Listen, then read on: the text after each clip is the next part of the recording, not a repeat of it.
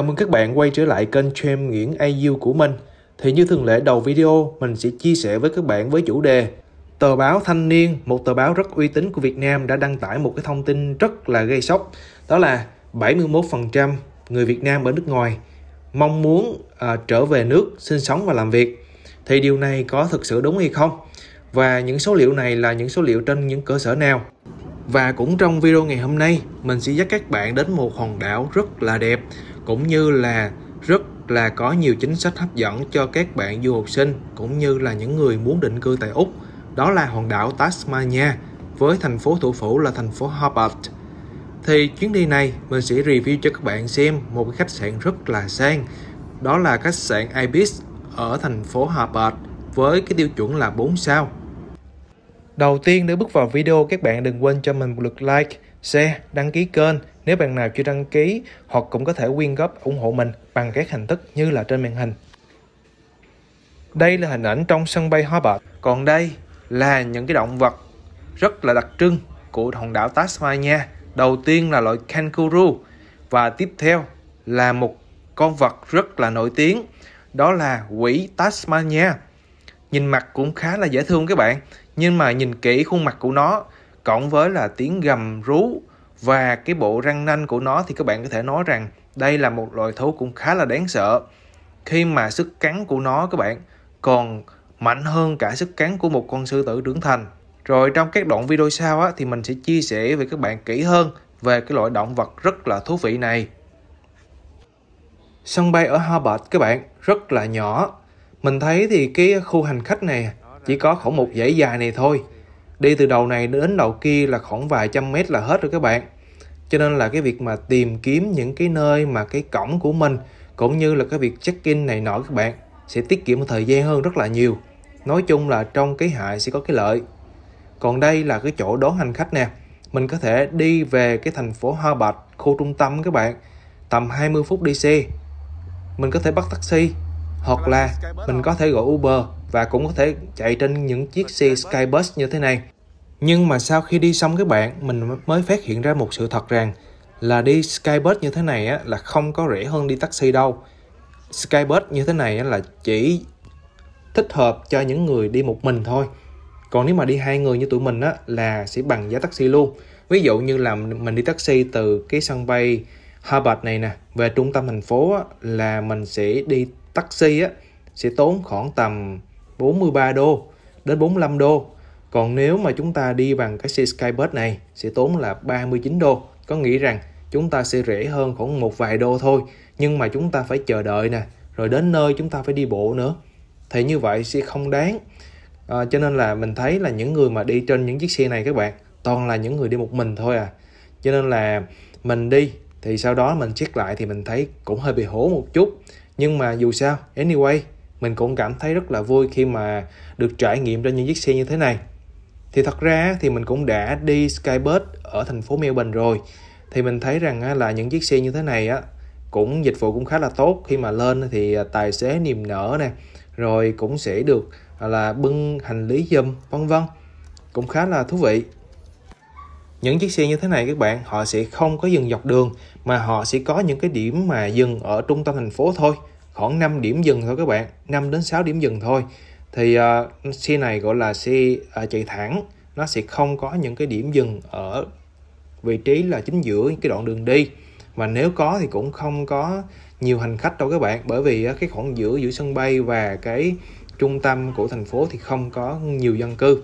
Đây là cái vé này các bạn sẽ có những mã vạch như thế này. Khi mà mình lên xe thì mình scan thôi giá là 39 đô cho hai người còn á mình lên xe rồi thì mình sẽ bỏ hành lý vào bên phải rồi tiếp tục chọn những chỗ ngồi. Cũng nhìn cũng khá là sang. À, tuy nhiên đi bus thì chắc chắn là không bằng đi taxi rồi bởi vì taxi á, thì nó sẽ đến cái nơi mà mình muốn đến luôn. Giá Uber này các bạn. Thì giá mình thấy là 41 đô tức có nghĩa rằng hơn chỉ có hai đô thôi các bạn. Rồi chúng ta hay quay vào chủ đề chính ngày hôm nay đó là cái thông tin mà 71% người Việt Nam ở nước ngoài muốn trở về quê hương làm việc. Và cái số liệu này được cái tờ báo Thanh niên đưa ra và dựa trên cuộc khảo sát của tập đoàn tư vấn tuyển dụng Robert Volter. thì cái điều này cho thấy rằng đây là một cái tờ báo rất là uy tín cũng như là cái tập đoàn mà khảo sát này cũng có tên tuổi trên thị trường do đó cái độ tin cậy về dữ liệu rất là cao bên dưới thì ờ, các bạn có thể thấy rằng là cái tỷ lệ này còn cao hơn so với một số quốc gia ở Đông Nam Á ví dụ như là Indonesia hay là Singapore một đất nước rất là phát triển. Thì ờ, với một cái dữ liệu như thế này thì mình cũng không có ý kiến gì nhiều về cái độ tin cậy của dữ liệu. Nhưng mà có một điều mà các bạn phải xem kỹ và suy nghĩ thật là kỹ về vấn đề này. Khi mà trong cái tờ báo này các bạn họ không có nói rõ rằng á, là những người Việt ở nước ngoài là những nước nào? Đó là nước Mỹ, à, nước Hàn Quốc, nước Úc hay là những nước kém phát triển như là à, Campuchia, Thái Lan hay là Trung Quốc? Vân vân. Nói chung với các bạn Việt kiều á là sẽ có rất là nhiều loại Việt kiều. À, Việt kiều Mỹ Úc cũng có Việt kiều Campuchia Việt kiều Trung Quốc cũng có. Nói chung là những người Việt mà sống ở nước ngoài á thì là những người Việt kiều. Do đó là khi mà mình đọc cái tờ báo này á thì mình à, có một cái cái cảm giác rằng họ đang ám chỉ những người ở úc hay là những người ở mỹ hay là ở canada đối với những nước phát triển. Nhưng mà không đây là cái số liệu các bạn. Có thể nói là họ tập hợp của rất là nhiều các nước khác nhau. Và trong đó có những nước là kém phát triển ví dụ như là lào hay là campuchia. Thì khi mà họ nói chung chung như vậy các bạn cũng không có cái cơ sở nào mà chúng ta phản biện cả và cũng không biết được rằng là những người Việt Nam này là họ lấy mẫu ở đâu. Bởi vì không thể nào mà họ đến tất cả các nước trên thế giới để mà lấy mẫu được. Như vậy thì các bạn có thể hình dung được rằng là cái việc à, này giống như là một cái trò chơi chữ vậy các bạn. Do đó thì chúng ta thấy điều này cũng rất là vô lý. Tại sao là vô lý các bạn? Tại vì các bạn có rất là nhiều người, hàng trăm thậm chí là hàng triệu người Việt Nam bây giờ ở Việt Nam các bạn đang muốn là xuất ngoại để tìm cho mình một cuộc sống tốt hơn mà cũng như là tìm được một cái chất lượng cuộc sống nè mức lương cao hơn và cái môi trường sống tốt hơn. Hàng năm vẫn có rất là nhiều người phải bỏ ra tiền tỷ để mà cho con em mình du học sau đó rồi bảo lãnh họ qua sống một cuộc đời bên uh, nước ngoài thì nó sẽ chất lượng hơn và con cái họ đẻ ra sau này các bạn, thì cũng mong muốn rằng con cái mình sống ở nước ngoài. Thế thì tại sao là có nhiều người lại muốn quay trở lại Việt Nam để mà làm việc lâu dài? Nếu đọc kỹ các bạn các bạn sẽ thấy được rằng là những cái dòng chữ mà họ viết về cái lý do mà tại sao những người này mà quay trở lại Việt Nam muốn sinh sống và làm việc lâu dài này các bạn. Thì những người tham gia khảo sát cho rằng cái yếu tố kinh tế tác động tích cực đến họ có đến 66% là cho biết rằng là họ tin tưởng vào sự ổn định và phát triển của nền kinh tế Việt Nam. Các bạn thấy không? Thì họ cho rằng là yếu tố phát triển kinh tế Việt Nam hiện tại đang là yếu tố thu hút mà những người Việt Nam muốn sống ở nước ngoài muốn quay trở lại. Như vậy thì các bạn có thể đọc qua câu này thì các bạn có thể hình dung được rằng là họ đang khảo sát những người ở đâu. Thì theo mình nghĩ là đa số họ lấy thông tin từ những người ở bên Lào, Campuchia hay là Thái Lan hay là Trung Quốc vân vân. Thì những người này các bạn họ đang so sánh là kinh tế của những nước họ đang ở và nước Việt Nam á thì họ thấy là kinh tế của Việt Nam tốt hơn và thực sự là ổn định hơn. Thì họ mới muốn quay trở quay trở về để mà sinh sống và làm việc lâu dài. Chứ nếu mà họ đã ở Mỹ ở Úc ở Canada rồi các bạn thì nếu mà so về nền kinh tế thì nền kinh tế Việt Nam tốc độ phát triển đến đâu? Thì cũng không thể nào mà so sánh lại mấy cái nước đang người ta đã phát triển rồi. Cũng như là về cái mức độ đãi ngộ nè lương bổng nè cũng hoàn toàn không bằng. Và có một thực tế nữa các bạn nếu mà bạn nào đang sống ở Việt Nam thì chúng ta chắc chắn sẽ biết được rằng là nền kinh tế nước ta đang rất là khó khăn. Có rất là nhiều cái bài báo cũng như là những cái video nói về cái tình trạng là những cái à, mặt bằng hàng trăm triệu mặt bằng ở vị trí đẹp, vị trí vàng của thành phố là đóng cửa bởi vì kinh doanh không có được. Rồi những cái tòa nhà, ví dụ như là tòa nhà Bitexco uh, ờ, cao nhất ở Sài Gòn chẳng hạn, thì cũng có rất là ít các cái thương hiệu còn tồn tại và một số cái thương hiệu khác cũng đã phá sản các bạn. Có rất nhiều tờ báo là viết về cái tình trạng mà đóng cửa như thế này, có tới là 100.000 doanh nghiệp đóng cửa trong 6 tháng thôi các bạn chỉ 6 tháng có nghĩa là nửa năm thôi mà tới là 100.000 doanh nghiệp đóng cửa. Như vậy thì họ viết rằng nền kinh tế Việt Nam tăng trưởng và ổn định thì liệu có đúng hay không? Và gần đây nhất các bạn, đó là thông tin là Paxson Việt Nam đã nộp đơn phá sản, rút khỏi Việt Nam sau 18 năm. Thì có thể thấy là cái việc mà những cái thương hiệu lớn như vậy rút khỏi Việt Nam và họ đã tuyên bố phá sản ở Việt Nam thì chứng tỏ rằng là một cái sự đi xuống của nền kinh tế là quá là rõ ràng. Điều này các bạn, đó là một cái xu thế chung của kinh tế thế giới thôi các bạn, chứ không phải riêng vì gì ở Việt Nam nhưng mà ở những nước khác, ví dụ như nước Úc mình đang sinh sống các bạn nè, thì họ vẫn có được những cái công việc lao động bình thường nếu mà không làm được những công việc mà họ thích, ví dụ như là những công việc về chuyên ngành họ làm trong một số công ty và một số công ty đó phá sản, vân vân thì họ vẫn có rất nhiều công việc khác để mà làm. À, ví dụ như là những công việc phổ thông thôi thì họ vẫn có được những cái thu nhập mà để trang trải được tất cả cái chi phí trong cuộc sống và thậm chí là tích lũy. Có thể nói là họ sẽ hạn chế đi du lịch các bạn bởi vì là không còn nhiều tiền như trước đây nữa và họ sẽ dự phòng những rủi ro trong thời gian sắp tới. Nhưng mà về vấn đề chi phí cuộc sống sinh hoạt thì họ vẫn lo được rất là đầy đủ thì ở Úc các bạn tỷ lệ thất nghiệp bây giờ là khoảng trên 3.5 3.6% thôi cũng không có nhiều. Cho nên nó là chứng tỏ được rằng là công việc của họ luôn có và có rất nhiều công việc để mà họ lựa chọn. Do đó thì các bạn thấy được rằng là cái việc mà họ những cái tờ báo này cho rằng là nhiều người Việt Nam ờ, nhiều người ờ, ờ, Việt kiều ở nhiều quốc gia trên thế giới là muốn quay trở lại Việt Nam sinh sống á, thì điều này thì chỉ đúng với một số đất đất nước mà mình đã nói đầu video ví dụ như là Lào, Campuchia hay là Thái Lan hay là Trung Quốc hay là một số quốc gia mà cũng tương đương với Việt Nam thôi. Thì không không có vấn đề gì mà gọi là vương vấn để mà họ phải ở lại những nước như vậy các bạn. Cho nên là các bạn đọc những bài báo như thế này thì đừng có suy nghĩ rằng đây là những nước phát triển nha nhiều anh chị, bà con của mình các bạn, đang kinh doanh ở Việt Nam, đặc biệt là trong lĩnh vực bất động sản đang gặp rất là nhiều khó khăn. Khi mà những cái à, việc giao dịch về bất động sản càng ngày càng đi xuống các bạn. Và hiện tại thì mọi người đang rất là muốn là à, giữ tiền và không có muốn đầu tư. Và thậm chí là những cái cái ngân hàng các bạn cũng thừa tiền nữa. Và họ bây giờ là họ muốn cho vay các bạn à. Nhưng mà lại thiếu những khách hàng cho vay trước đây là thiếu tiền để mà huy động vào, nhưng mà bây giờ lại thiếu tiền à, dư tiền để mà cho vay. Có nghĩa là bây giờ cũng không có muốn ai mà vay ngân hàng để mà kinh doanh nữa các bạn. Do đó cho thấy là một cái tình trạng là trì trệ về kinh tế là rất là lớn.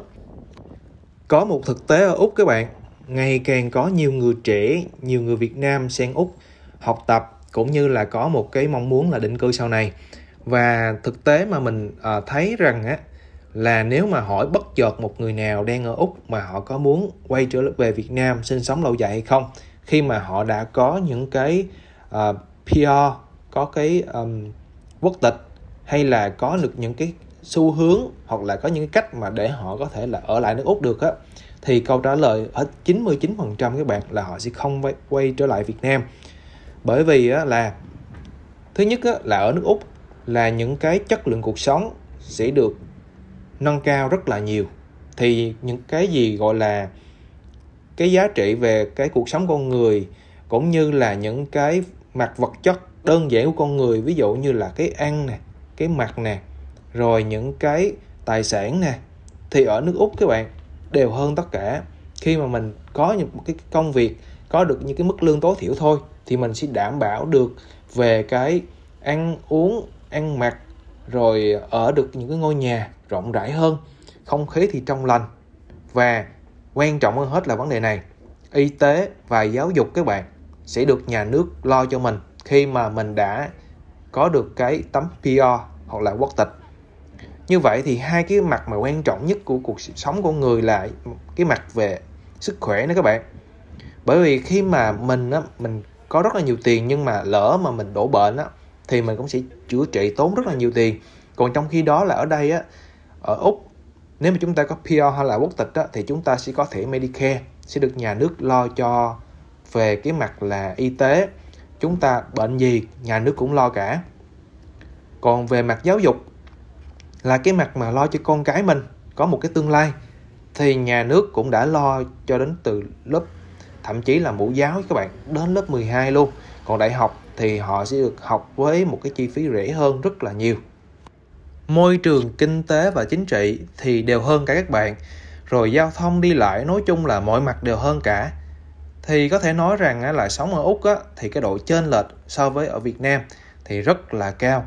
Chứ không phải nói là việt nam bây giờ cái gì cũng có thì nó chênh lệch không cao đó các bạn. Thực tế mà các bạn bước chân đến nước úc sinh sống rồi á thì các bạn mới thấy được cái sự chênh lệch rồi còn nếu mà chúng ta ở việt nam thì chúng ta có thể nói là cũng không có hình dung được đâu Trước mặt các bạn, đó là một cái hình ảnh rất là đẹp của phố đi bộ tại thành phố Hobart của Tasmania. Thì à, một số anh chị và các bạn cũng chưa biết về thành phố này thì mình có thể nói sơ về một chút về thành phố này để các bạn và các anh chị hình dung. Tasmania là hòn đảo lớn nhất ở nước Úc các bạn và cũng là một trong top những hòn đảo lớn nhất trên thế giới khi mà nó có diện tích là gần 70.000 km vuông, tức là bằng 1 phần 5 của diện tích nước Việt Nam chúng ta đó các bạn. Để có thể dễ hình dung thì các bạn cứ hình dung là Tasmania sẽ có diện tích là bằng toàn bộ Bắc Bộ của Việt Nam. Với cái nền thời tiết và khí hậu tuyệt vời nhất trên thế giới, khi mà cái lượng nhiệt độ các bạn dao động tầm khoảng từ à, 5 cho đến là 20 độ C vào hàng năm cũng như là có khí hậu sạch nhất trên thế giới với cái chất lượng không khí rất là tốt cùng với đó là một cái hệ sinh thái rất là tự nhiên và những cảnh đẹp hoang sơ. Thì cái thành phố Harvard các bạn dân số là chỉ khoảng là hơn nửa triệu người thôi dân số không có nhiều. Và ở đây á thì còn có rất là nhiều cái cảnh đẹp tự nhiên và rừng cũng như là những cái tài nguyên biển còn rất là đa dạng và phong phú. Ở đây á, thì do thiếu người cho nên là chính phủ đang có rất là nhiều chính sách mà mong muốn tạo điều kiện thuận lợi cho những cái người nhập cư đến để mà nhập cư. Thì trong video sau thì mình sẽ chia sẻ rõ hơn về những cái chính sách nhập cư cũng như là lịch sử của cái hòn đảo này. Lần đầu tiên bước chân đến Hobart đó các bạn, thì cảm giác của mình cảm thấy hơi buồn bởi vì cái thành phố Adelaide của mình á là cũng là thành phố lớn thứ năm ở nước Úc, thì cũng không phải là thành phố lớn. Nhưng mà á, nó cũng đã cũng khá là đông vui hơn ở đây rất là nhiều. Còn ở đây á tới tới nơi mà khoảng 10 giờ các bạn là toàn bộ quán xá dường, dường như là đóng cửa hết trơn. Không còn cái chỗ nào mà chúng ta có thể là ăn uống vui chơi. Cửa hàng tiện lợi thì có duy nhất một cái thôi. Mà còn bán hàng thì cũng rất là chán các bạn. Thì cuối video á, mình sẽ cho các bạn xem một số cái ờ, thông tin và hình ảnh của những cái cửa hàng tiện lợi mà làm việc 24 giờ này. Chỉ có một đến hai cái hoạt động vào ban đêm thôi thành phố thì chỉ có khu vực CBD là nhìn còn đông đúc và đẹp như thế này thôi.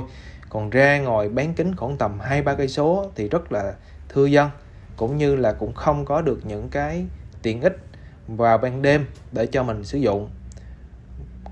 Ở thành phố Adelaide cũng như là một số thành phố lớn khác á, vào ban đêm các bạn 11 12 giờ đêm nếu mà chúng ta thấy đói chúng ta đi ăn thì vẫn có hoặc là cửa hàng tiện lợi 24 giờ thì mở ở rất là nhiều nơi trong cái gần trung tâm thành phố. Ở đây các bạn, đi xe bus thì cũng hơi bất tiện bởi vì số lượng cũng không có nhiều. Nhưng mà anyway, người dân ở đây vẫn sống khỏe, sống tốt và họ rất hạnh phúc khi sống ở nơi đây.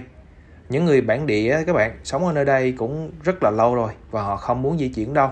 Chỉ có những người, ví dụ như là những người à, nhập cư, người châu Á hoặc là một số quốc gia khác đến thì họ sẽ có xu hướng là đến đây để có PR định cư một thời gian.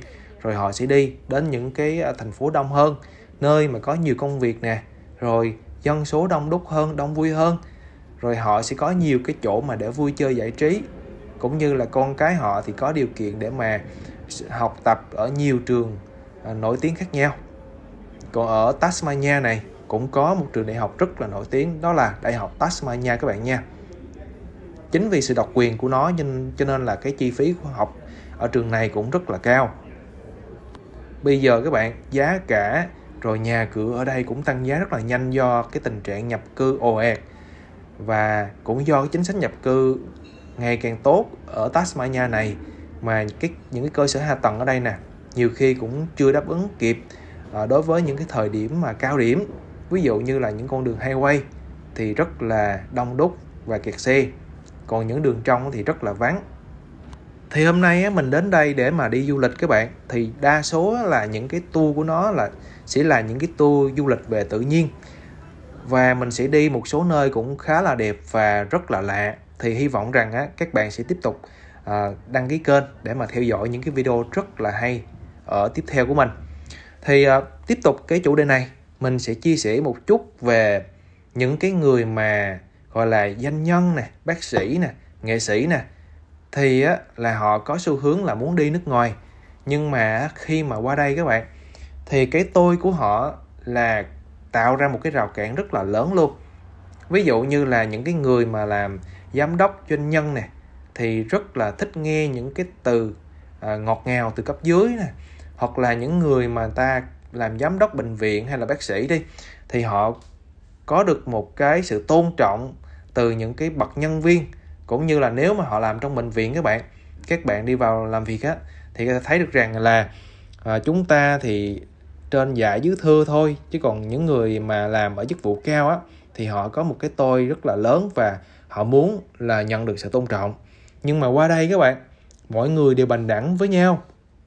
Thì như một cái video trước mình đã làm à, liền trước đó các bạn thủ tướng úc á, cũng phải đi xếp hàng để mua bánh mì chứ không phải là thủ tướng là được ưu tiên đâu. Rồi á, nói chuyện cũng rất là bình đẳng sòng phẳng.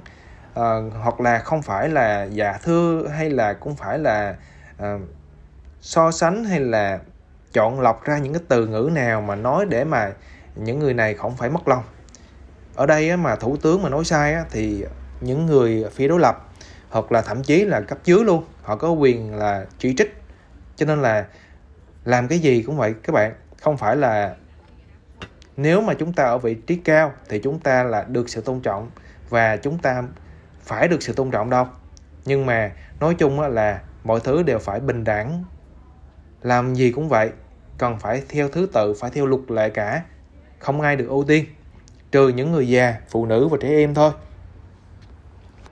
Nhiều người qua đây á, nếu mà chúng ta mới bắt đầu qua thì không thể nào tránh khỏi cái việc là làm tay chân rồi chứ những cái ờ, công việc ở Việt Nam ví dụ chúng ta làm à, giám đốc ngân hàng à, giám đốc công ty bất động sản vân vân thì qua đây chúng ta có thể là đi kiếm việc văn phòng. Nhưng mà nếu mà chúng ta không giỏi tiếng Anh các bạn thì cũng chưa có ai dám nhận đâu. Và cái bản chất cái công việc ở đây á, là đòi hỏi về cái sự thích nghi.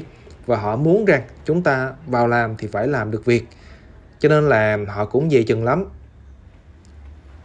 Giám đốc ở Việt Nam qua đây á, làm những công việc tay chân ví dụ như là làm nail hay là bưng bê hay là đi um, giao hàng. Đó là những công việc bình thường các bạn. Nhiều người ở đây là làm những công việc như vậy. Có nghĩ rằng á, là những cái nước mà kém phát triển hơn họ có thể làm những vị trí cao hơn nhưng mà qua đây á, thì có rất là nhiều công việc khác nhau mà phải trải qua. Nhiều khi chúng ta phải bắt buộc chúng ta phải làm trước khi mà chúng ta trở lại cái vị trí của mình khi mà chúng ta đã đủ kiến thức nè đủ kinh nghiệm nè đủ tiếng anh rồi thì điều đó phải có một cái quá trình. Do đó là những người mà không có thể nào thích nghi được á thì cũng có một số người quay trở lại Việt Nam các bạn. Nhưng mà đa số thì đã qua Úc rồi thì họ không muốn về đâu. Cho dù là cho tiền các bạn họ cũng không muốn về. Bởi vì á, sống ở nước úc không chỉ là để kiếm tiền đâu mà nó sống ở nước úc là để cho mình có một cuộc sống tốt hơn cho mình có một chất lượng cuộc sống đạt được cái tiêu chuẩn cao hơn. Ở việt nam á, chúng ta có thể làm ra rất là nhiều tiền nhưng mà có một sự thật không thể nào chối cãi được rằng là chất lượng cuộc sống ở việt nam và những cái vấn đề về ô nhiễm thì luôn tồn tại. Chúng ta có thể ăn trong một cái nhà hàng lớn nhưng mà khi mà chúng ta bước chân ra ngoài đường chúng ta gặp những người bạn bè không có đủ điều kiện để ăn những nhà hàng sang họ rủ chúng ta vào những quán bình thường thì chúng ta cũng phải đi rồi chúng ta cũng phải ăn những thực phẩm nó không có đầy đủ chất lượng. Rồi nó cũng sẽ không an toàn cho sức khỏe. Rồi chúng ta đi ngoài đường các bạn. Chúng ta hít phải cái bầu không khí ô nhiễm của những nơi đông đúc nhiều khói xe. Khi mà chúng ta đi xe máy thì chúng ta sẽ hít phải những cái làn khói rất là dày đặc khi mà xảy ra tình trạng kẹt xe. Nói tóm lại các bạn nhiều người qua một số đất nước phát triển như là Úc, Mỹ, Canada rồi thì chắc chắn rằng 99% thì họ sẽ không muốn về Việt Nam trừ một số trường hợp cá biệt và hoặc là những người còn quá trẻ tuổi thôi nhưng mà nếu mà họ trẻ tuổi họ quay trở lại Việt Nam thì họ cũng sẽ hối hận hoặc là họ sẽ mong muốn quay trở lại những nước phát triển như là Úc, Mỹ và Canada để mà tương lai của họ và con cái họ tốt hơn. Đây là cái khách sạn mà mình thuê này các bạn. Đây là khách sạn Ibis Hotel. Mình rất là thích cái loại hình khách sạn này cũng như là cái thương hiệu này bởi vì là cái giá của nó cũng khá là phải chăng. Nhưng mà ở Harvard các bạn, giá khách sạn rất là đắt tiền nha. Bên đối diện các bạn cũng có rất là nhiều khách sạn nè. Thì giá của nó cũng không dưới 150 đô đâu. Chỗ mình là mình thuê là 180 đô cho một ngày các bạn. Bởi vì mình thuê cũng ngắn ngày thôi. Chuyến đi của mình cũng khoảng 4 ngày cho nên là kinh nghiệm hôm trước mình đi Brisbane á mình thuê phải một khách sạn nó rẻ hơn một chút nhưng mà rất là tệ do đó hôm nay á thì mình sẽ thuê một khách sạn tốt hơn à, và trên đây các bạn sẽ có hồ bơi nè phòng tập gym miễn phí luôn chỗ giặt ủi nữa mà view cũng đẹp. Gần trong trung tâm thành phố và gần những cái khu rất là nổi tiếng ví dụ như là chợ Salamanca nè rồi những cái phố tàu cái cảng nè rồi à, một số cái nơi nữa nhà thờ vân vân. Thì cũng rất là hay. Bây giờ các bạn mình sẽ đi vào bên trong để mà review cho các bạn xem rằng cái căn khách sạn này nó có thực sự đáng giá là 180 đô cho một ngày không? Tính ra tiền Việt Nam các bạn thì nó không chỉ là gần 3 triệu đồng tiền Việt Nam cho một ngày. Ở Việt Nam mà 3 triệu đồng các bạn ở khách sạn cực kỳ sang luôn. Có thể nói là còn sang ở bên nước Úc nữa. Nhưng mà mình cũng sẽ review cho các bạn xem được rằng là khách sạn này sẽ có gì trong đây. Thời tiết hôm nay các bạn cũng khoảng là 13-14 độ. Thì ở bên TAS á, nhiệt độ mà như thế này thì gọi là thời tiết rất là đẹp. Bởi vì ở bên đây á, là đa số là lạnh các bạn. Và buổi tối thì rất là lạnh nha. 2 độ 3 độ là bình thường. Đây nè các bạn Khách sạn rất là lớn Nhìn rất là bề thế. Chiều ngang của nó cũng rất là rộng. Có chỗ là xe chạy vào bên trong để mà thả đưa đón khách luôn. Bởi vì con đường trước mặt tiền là con đường một chiều và xe cộ rất là đông cho nên là khách sạn sẽ có một cái sảnh để mà đậu xe rồi à, đưa đón khách vân vân bên trong phía trên á, sẽ có một cái hồ bơi tràn bờ và ngắm cảnh vừa bơi vừa ngắm cảnh bên dưới luôn các bạn. Lát nữa mình sẽ cho các bạn xem. Vừa vào bên trong nè các bạn nè. Thì à, thang máy cũng khá là rộng nha. Lên xuống thì cũng giống như ở Việt Nam thôi. Chúng ta phải xài thẻ thì mới đi lên cái tầng của mình được. Hôm trước mình ở một cái gọi là motel thôi các bạn. Mà giá cũng đã 130 rồi. Căn này thì là 180 đô cho một ngày nè rất là rộng rãi các bạn nha. Bên uh, phía dưới thì được ốp thảm cũng rất là sạch sẽ và vì ốp thảm này cũng phải là lau dọn mỗi ngày.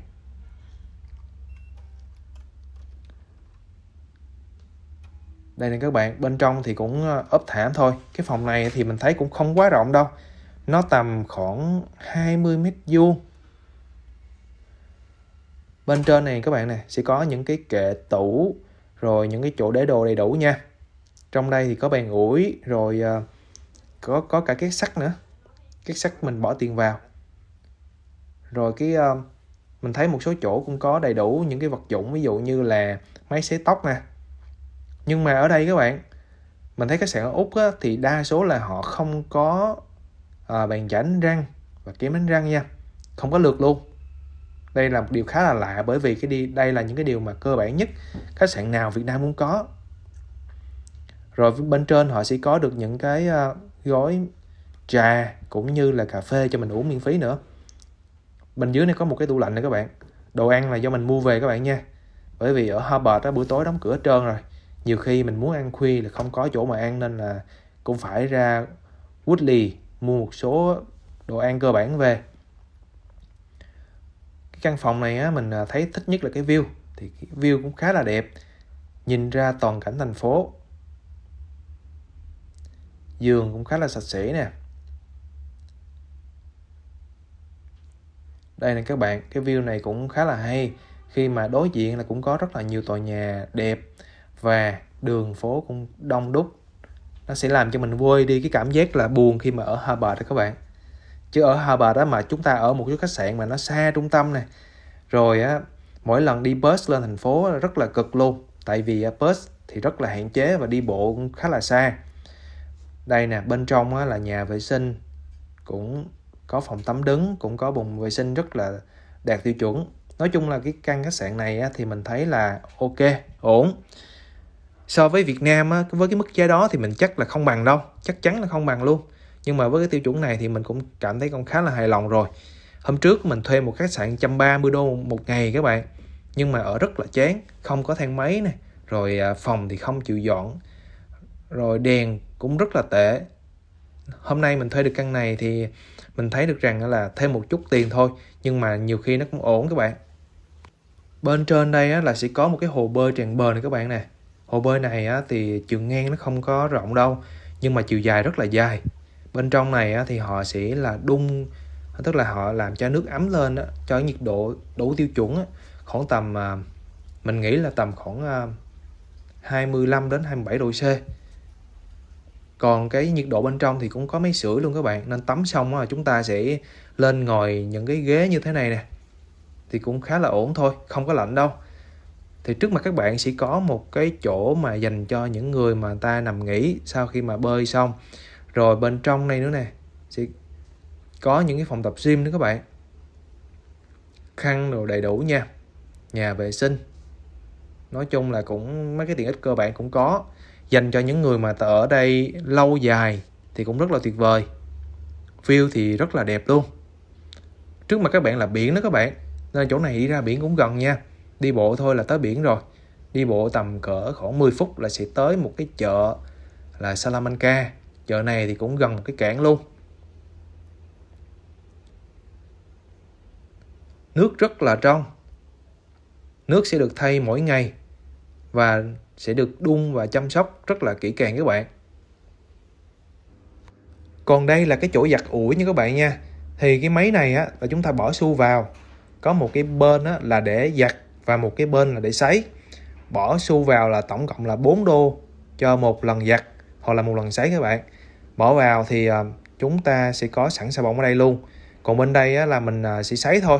Bởi vì mình ờ, cũng không có cần giặt nhiều, mình chỉ giặt một số vật dụng nhỏ thôi các bạn. Cho nên là mình đã sử dụng dịch vụ sấy. Thì mình cũng đã có được một cái kỷ niệm cũng không có vui ở thành phố Harvard này các bạn. Khi mà lần đầu tiên mình bước chân xuống thành phố thì mình rất là đói luôn. Bởi vì mình đi chuyến bay là đêm, tới nơi là tầm khoảng 10 giờ và mình muốn kiếm một chỗ nào đó để mà mình ăn. Thì kiếm xung quanh là không có quán nào mở cửa cả. Thì ờ, đói quá rồi. Mình sẽ phải đi kiếm một cái cửa hàng tiện lợi để mua mì gói hoặc là một cái số đồ ăn nhẹ các bạn. Thì khi mà mình đến thì trước khi mình đi mình đã search cái địa điểm thì xung quanh là cũng rất ít cửa hàng tiện lợi. Có một cái cửa hàng tiện lợi cũng khá là xa, gần một cây số đi bộ nhưng mà là chỉ có duy nhất một cái cửa hàng tiện lợi này là gọi là cửa hàng tiện lợi 24 giờ thì các bạn. Khi mà mình đến thì có một anh Ấn Độ này anh đang à, coi quán thì cũng có vẻ rất là niềm nở hỏi mình nói chuyện rồi hỏi là bạn từ đâu đến vân vân. Thì mình cũng rất là vui vẻ nhiệt tình bắt chuyện thôi. Nhưng mà mình đã không biết được rằng là anh này hỏi mình à, từ đâu đến mục đích là coi thử là mình là khách du lịch hay là mình gốc ở đây à, hoặc là mình có hay đến quán này mua hay không thì anh này sẽ bắt đầu là tính chuyện là sẽ gian lận các bạn. Bởi vì á, mình biết được rằng là những cái cửa hàng tiện lợi như thế này nè chỉ có một người trông coi thôi. Và nếu mà không quản lý kỹ á, thì rất là dễ bị những người này là gian lận. Và những cái cửa hàng mà kiểu này á, thì sẽ phá sản sớm luôn các bạn. Không tồn tại lâu đâu bởi vì không quản lý được nhân viên thì họ sẽ ăn chặn du khách nè ăn chặn tiền nè. Cũng có một số người Việt Nam qua đây mở cửa hàng tiện lợi rồi các bạn. Người à, người thân của bạn mình nó cũng đã mở rồi rất là giàu luôn. Nhưng mà không không có quản lý được cái tình trạng mà lấy tiền này nè rồi cuối cùng bị phá sản các bạn. Thì anh vô mình mua đồ các bạn à. Chỉ có nhiêu đây thôi này các bạn nè. Mấy à, chai sữa chai nước rồi à, mấy cái bánh thôi. Mà tính ra là khoảng à, 92 đô. Đây nè thì mình đã nghi ngờ rồi mình xin một cái receipt. Thì họ cho mình một cái receipt chỉ có giá thôi chứ không có được cái item nghĩa là chỉ là giá thôi mà không biết mua cái gì cả. Do đó là mình thấy rằng là à, không có đúng cái giá trị và mình muốn trả lại. Tuy nhiên là bởi vì quá đói rồi các bạn mà trong thành phố thì chỉ có một cái chỗ này thôi. Cho nên là mình cũng không có muốn đôi co vài đồng thì mình cũng đã chấp nhận mua những cái sản phẩm này. Những người Ấn Độ các bạn có những người rất là tốt nha. Bạn mình Ấn Độ cũng nhiều và họ tốt cũng nhiều. Tuy nhiên á, sẽ có những người cũng không có tốt bởi vì á, người Ấn Độ qua đây rất là nhiều và họ có rất là nhiều cái tầng lớp khác nhau, có tốt, có xấu. Do đó người xấu cũng rất là nhiều các bạn. Rồi, hy vọng các bạn sẽ thích video của mình. Mà nếu mà thích, các bạn đừng quên cho mình được like, share, đăng ký kênh. Nếu bạn nào và các anh chị nào chưa đăng ký, hoặc cũng có thể là quyên góp ủng hộ mình bằng các hình thức như là trên màn hình. Rồi, xin chào và hẹn gặp lại các bạn và các anh chị trong những video tiếp theo. Ờ, unit ờ, unit gì á unit hàng sang. À cái quán ăn.